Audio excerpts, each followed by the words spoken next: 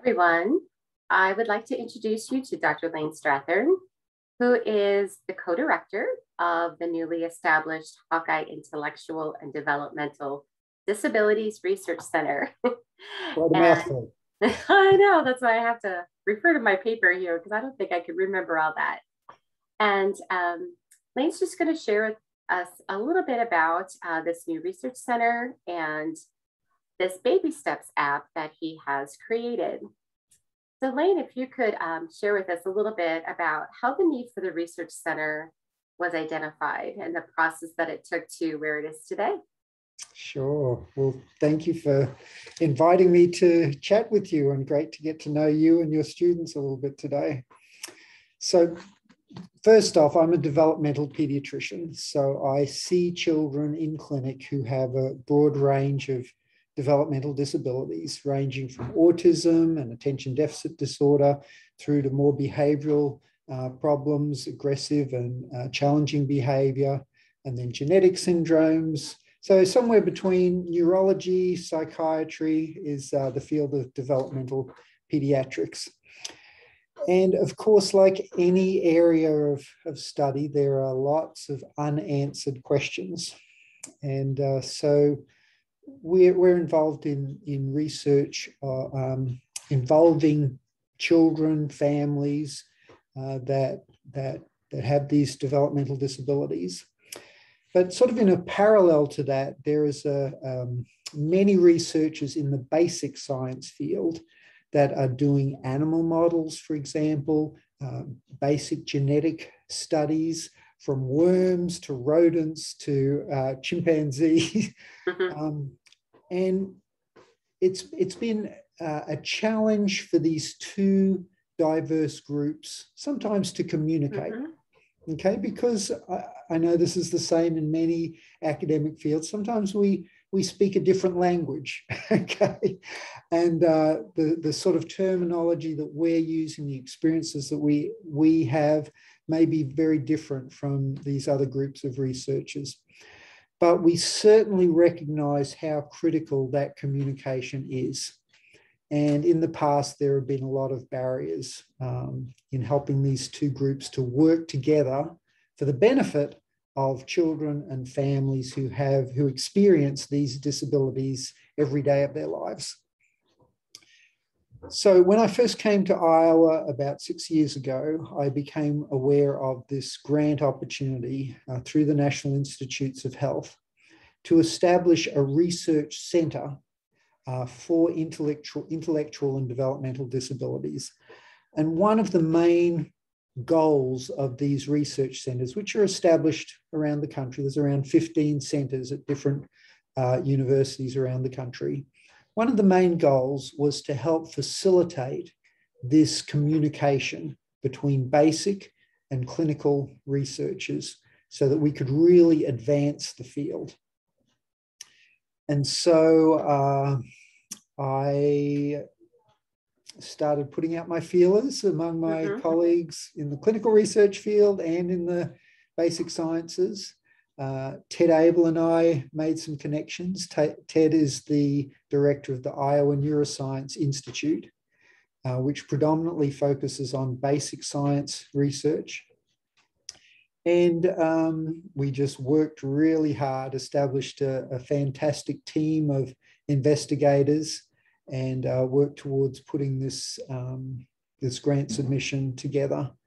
And the first time we weren't successful, but we turned it around in a few months, and our second submission was successfully funded, which means that uh, we are awarded around $6.2 million over a five year period um, to establish this center at the University of Iowa and to help facilitate uh, more research, more focused and more um, effective research bringing these two groups together. And we've called it the Hawkeye DDRC. For short. well, I'm glad your um, your second grant submission was uh, successful because this sounds like it is just such a, a beneficial um, um, center to have in our community. And um, one thing that I'd like to know a little bit more about this Baby Steps app that you created for the smartphone to help uh, families at home kind of monitor the progress of their child? Sure. So, as part of this research centre, they give funding for one specific project that mm-hmm. utilizes all of the resources from the different cores. So, it funds a specific cores to support research in this area. One is a, a genetics core, one is a neuroimaging and behavior core, one is what's called a clinical translational core, and then there's an administrative core. So we developed a research project, sort of like a, a prototype project hmm. that would utilize these uh, services um, and be an example for other, other studies throughout the institution. Uh, and this particular study was um, designed to look for early uh, epigenetic markers for autism. Okay, so there's been a lot of work on the genetics of autism, genes that may increase or decrease risk for autism. And um, we've also come to realize that there's, there must be more to autism than the genetics of autism there must be other environmental factors that may be contributing as well. And so epigenetics is um, a study of factors, chemical factors that change how genes work. So they attach to the genome and affect whether genes are turned on or off, or whether they're upregulated, meaning that they work harder, or slowed down. And the, the um, interesting thing about these epigenetic markers is that they can be modified by the environment in which they find themselves in. So, um, this study lo is looking at how a child's social experience and social environment may um, contribute to some, some of the risk related to the development of autism. And that's where the, the smartphone app comes in. Mm-hmm. Took a while to get there, but mm-hmm. no, that's okay. It's good to have that background information. Yeah.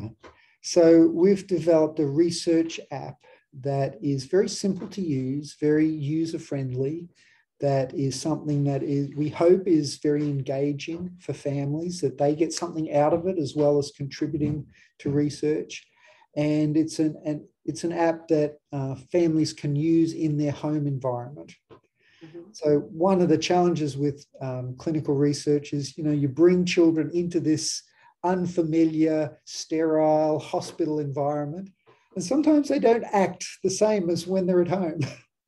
so the benefit of the smartphone app is that families can can use their their smartphone to do what every parent does, and that's videotape their kids. Mm-hmm so that we have this record of social experience, social development, social functioning in a non threatening environment at home. And of course, we're asking family members to complete questionnaires and report how things are going from day to day at home. So they may just get a notification on their phone saying, How stressed are you feeling right now?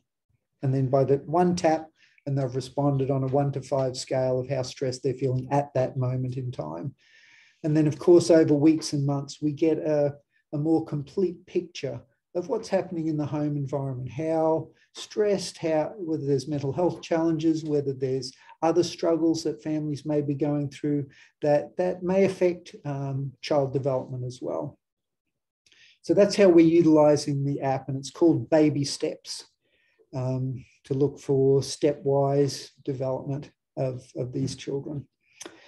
And then the epigenetic part is we've got approval from the Iowa Department of Public Health to access these children's newborn blood spots.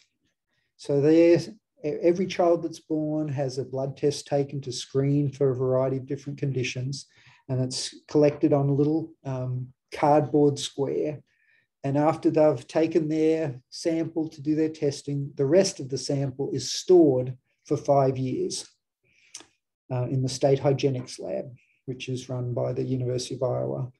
So we've got permission to access that blood spot and then compare it with the blood sample that we take at the time of diagnosis to see if these epigenetic markers are changing across time and how that may be related to uh, experiential factors at home. And then, of course, we also compare the genetic markers that are, uh, oftentimes are transmitted from parent to, to child to see if that risk and the uh, epigenetic risk might, might be intersecting. That's fascinating. Um, I, I do have a follow up question because you said, you know, it's primarily used in the home environment. Um, what is the age range for these children? Because I'm wondering if it would be an opportunity in the future to also monitor them in a academic, in a school environment as well, or is it just for the um, the younger ones that may not be in school yet? Yeah, that's that's a great point. This particular study is is just looking at children around the time of diagnosis between the ages of two and three years. Okay, so. But there's incredible opportunities there to continue to collect data as children get older and uh, are enrolled in school. So most of these children end up in a preschool program when they're three, and that continues on into kindergarten and elementary school. Uh, in fact, University College London is collaborating with us because when they heard about our app, they were very excited and they had a, a, funding opportunity to work with their Department of Education to look at early predictors of learning and educational outcomes. So we're modifying the Baby Steps app for their particular study, and they'll be collecting data uh, into the school school years as well. So, uh, ultimately, yeah. ultimately, our our most important goal is to look uh, right back into pregnancy, to have pregnant women uh, download the app and, and provide data on things that are happening during pregnancy and, and uh, birth complications and uh, then early factors from infancy onto um, age two or three. And then we can really get a, uh, an uh, unbiased look at some of the factors early on in development that might be contributing to risk. So that, that's where we're headed next. So, I mean, I know that you stated you're still in the, the early process of this research, but, you know, from a bigger picture, what do you see as the implications for your results? Is it more to, um, with special attention to, you know, the early life course and looking at maybe some of the social determinants that are impacting um, these children and their families to do some type of early intervention, mm-hmm. possibly? That's the ultimate goal. Is it? Okay. I, I think yeah. um, a lot of times, especially in the medical profession, we tackle what we see in front of us. Okay, our, our families, the patients come, we see them in clinic, they have challenges, they have uh, needs that, that, that have to be met. And so that's our focus of attention is what we see in front of us right now. But as you can imagine, these challenges are really, really difficult uh, to provide help and support for. Um, you know, a child who has autism is in need of very specialized and intensive uh, interventions, both therapy and educational supports. And those, those needs don't just go away. Oftentimes they continue into childhood, adolescence, and adulthood.